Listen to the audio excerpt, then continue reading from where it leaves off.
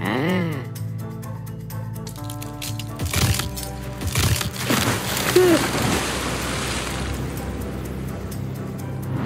Remember to use your sight and hearing when you are in areas around glaciers. When near a calving glacier, you should make sure to keep a safe distance and stay on high ground above any stranded ice blocks.